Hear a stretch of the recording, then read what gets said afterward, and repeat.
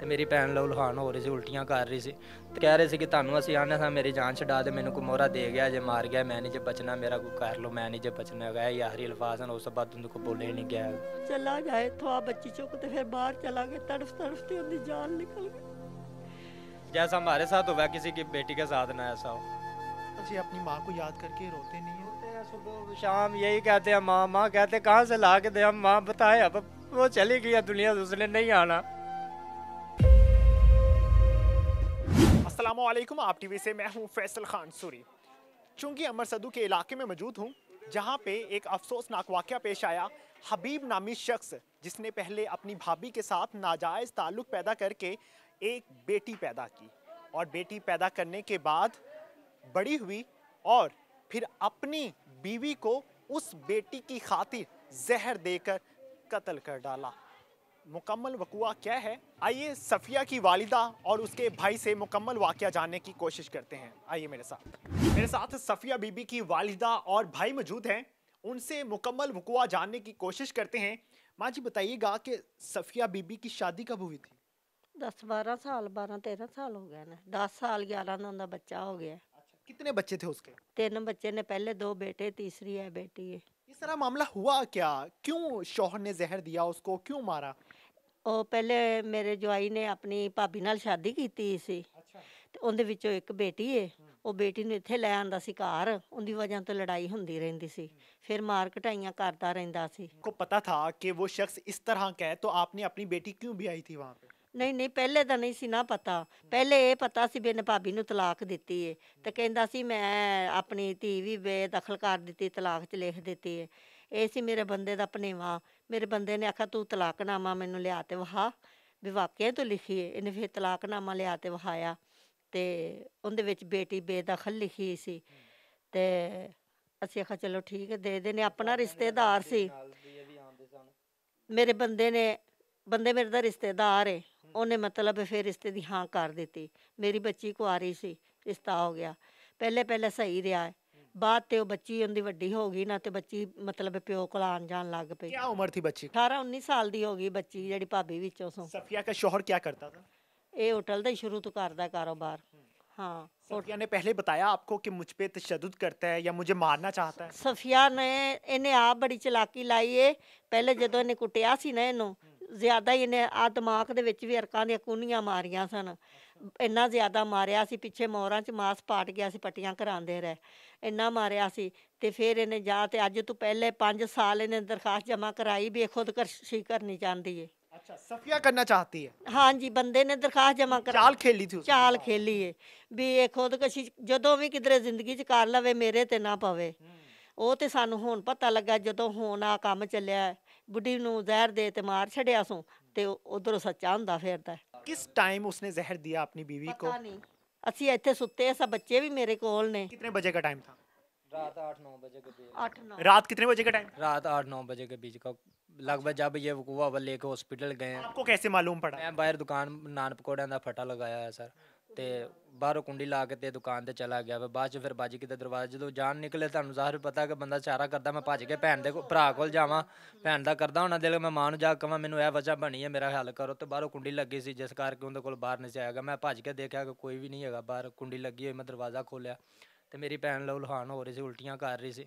ਤੇ ਇਹ ਕਹਿ ਰਹੀ ਸੀ ਕਿ ਮੈਂ ਤੁਹਾਨੂੰ ਆਣੀ ਸਾਂ ਉਸੇ ਵੇਲੇ ਡਿੱਗ ਪੈਨੇ ਖੂਨ ਕੀ ਉਲਟੀਆਂ ਕਰ ਰਹੀ? ਹਾਂ ਖੂਨ ਔਰ ਪਾਣੀ ਕੀ ਤਰ੍ਹਾਂ ਝੱਗ ਆ ਰਹੀ ਸੀ। ਤੇ ਕਹਿ ਰਹੇ ਸੀ ਕਿ ਤੁਹਾਨੂੰ ਅਸੀਂ ਆਨੇ ਸਾਂ ਮੇਰੀ ਜਾਨ ਛਡਾ ਦੇ ਮੈਨੂੰ ਕੋਈ ਮੋਹਰਾ ਦੇ ਗਿਆ ਜੇ ਮਾਰ ਗਿਆ ਮੈਂ ਨਹੀਂ ਜੇ ਬਚਣਾ ਮੇਰਾ ਕੋਈ ਕਰ ਲਓ ਮੈਂ ਨਹੀਂ ਜੇ ਬਚਣਾ ਹੈਗਾ ਇਹ ਆਖਰੀ ਅਲਫਾਜ਼ ਹਨ ਉਸ ਬਾਅਦ ਉਹਨੂੰ ਕੋਈ ਬੋਲੇ ਨਹੀਂ ਗਿਆ ਹਾਂ ਇਸ਼ਾਰੇ ਕਰਦੀ ਸੀ ਕਿ ਇਹਨੂੰ ਮੇਰੀਆਂ ਨਜ਼ਰਾਂ ਦੂਰ ਲੈ ਜਦੋਂ ਹਸਪੀਟਲ ਲੈ ਕੇ ਗਏ ਨੇ ਨਾ ਮਾਮਾ ਖੈਰੀ ਸੀ। ਉਹਨੇ ਇਸ਼ਾਰਾ ਕੀਤਾ ਸੀ ਵੀ ਤੂੰ ਦੂਰ ਚਲਾ ਜਾ। ਉਹਦੇ ਕੋਲ ਬੋਲਿਆ ਨਹੀਂ ਸੀ ਜਾਂਦਾ ਉਹਦਾ ਗਲਾ ਬੰਦ ਹੋ ਸ਼ੋਹਰ ਕੋ ਇਸ਼ਾਰਾ ਕੀਤਾ। ਹਾਂਜੀ ਉਹਨੇ ਇਸ਼ਾਰਾ ਕੀਤਾ ਵੀ ਚਲਾ ਜਾ ਥੋ ਆ ਬੱਚੀ ਚੁੱਕ ਤੇ ਫਿਰ ਬਾਹਰ ਚਲਾ ਗਿਆ ਤੜਫ ਤੜਫ ਤੇ ਉਹਦੀ ਜਾਨ ਨਿਕਲ ਗਈ।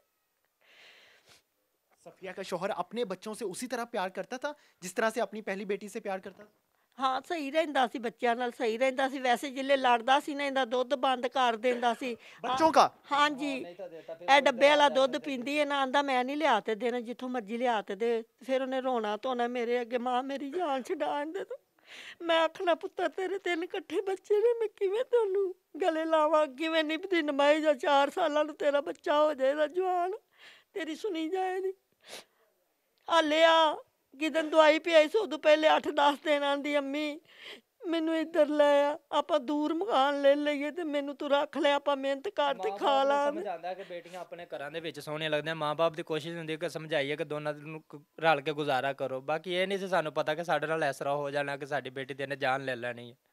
सफिया के शौहर ने जो पहले शादी की हुई थी अपनी भाभी से वो नाजायज ताल्लुक की वजह से की थी ਇਹਦਾ ਭਰਾ ਬਿਮਾਰ ਹੋ ਗਿਆ ਹਸਪਤਾਲ ਲਈ ਫਿਰ ਭਰਜਾਈ ਨਾਲ ਲਗਾ ਫਿਰਿਆ ਦਿਓਰ ਭਰਜਾਈ ਉਹ ਭਰਜਾਈ ਵਾਲੇ ਬੱਚਾ ਹੋਣ ਵਾਲਾ ਹੋ ਗਿਆ ਇਹਦੇ ਵਿੱਚੋਂ ਇਹ ਬੱਚਾ ਪਹਿਲੇ ਹੋ ਗਿਆ ਉਹਦੀ ਜੰਮਨ ਪਰਚੀ ਤੇ ਪਹਿਲੇ ਉਮਰ ਲਿਖੀ ਏ ਤੇ ਇਹਨਾਂ ਨਿਕਾਹ ਬਾਅਦ ਤੇ ਕੀਤਾ ਨਿਕਾਹ ਤੇ ਡੇਟ ਮਤਲਬ ਪਿੱਛੇ ਖਿੱਚੀ ਇਹਨਾਂ ਫਿਰ ਮਜਬੂਰ ਹੋ ਤੇ ਨਿਕਾਹ ਕਰ ਲਿਆ ਹਾਂ ਇਹੋ ਜਿਹੇ ਨਾਲ ਚਾਲਾਂ ਖੇਡੀਆਂ ਹਨ ਇਹ ਮੌਲਵੀ ਤੁਸੀਂ ਵੇਖੋ ਨਾ ਤੇ ਆਖੋ ਮੌਲਵੀ ਏ ਤੇ ਹੈਗਾ ਬਗੈਰ ਤੇ ਵੱਡਾ अभी कहाँ पे है वो? जेल च बैठा ठाणे फड़ाया। थाने में कोल लागबा थाने में कासम कासम शाह साहब की हिरासत में है उन लोग के पास हैंड ओवर है हमारा केस जो है। हाँ, वो कर रहे हैं हमारा केस का। इन्वेस्टिगेशन कंप्लीट हो चुकी है? अभी मेडिकल रिपोर्ट नहीं आई है। मेडिकल रिपोर्ट का इंतज़ार है वो कह रहे थे कि हम कॉल करेंगे तुम्हें फिर बुला लेंगे अभी अपना काम करो अपने घर के हालात देखो बच्चों को के पोस्टमार्टम करवाया हाँ जी करवाया। पोस्टमार्टम दो तीन दिन के बाद हमें डेड बॉडी मिली है। ठीक है और उसके बाद वो कह रहे थे कि हमें इस पे टाइम लगेगा मेडिकल रिपोर्ट पे।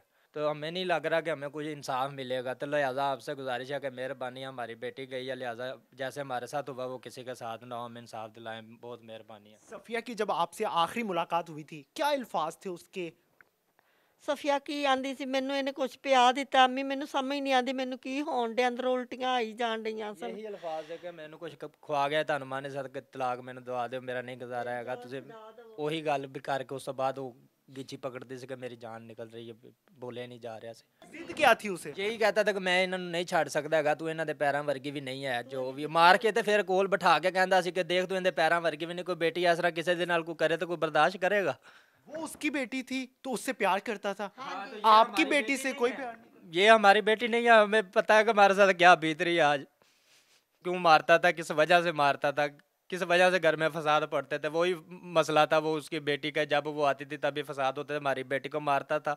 हमारी बेटी हमारे घर आती थी समझा के हम भेज दिया करते थे कि माँ बाप कहता कि बेटी अपने घर में सोने लगती है।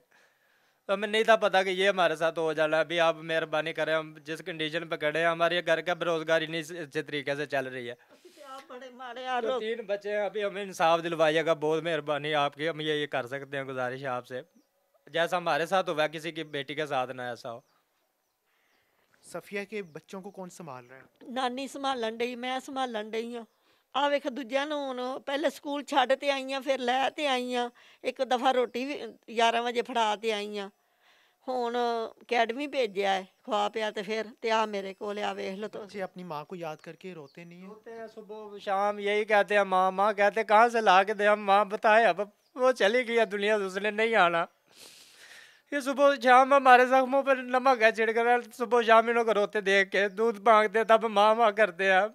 हमसे नहीं बर्दाश्त होता साहब, मेहरबानी करें, हमें इंसाफ दिलवा। हम बहुत गरीब हैं, मेहरबानी आपसे कुछ है, गुजारिश है। मर्द की आँखों से आँसू तभी टपकते हैं जब वो